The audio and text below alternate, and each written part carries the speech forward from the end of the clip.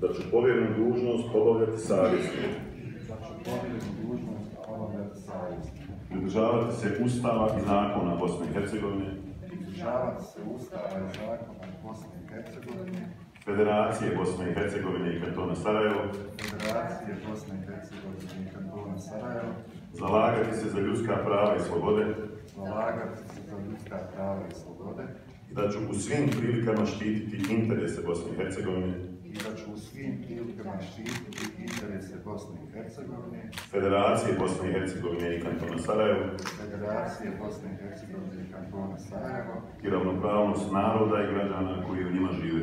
i ravnopravnost naroda i građana koji u njima žive. Čestitam da. Hvala.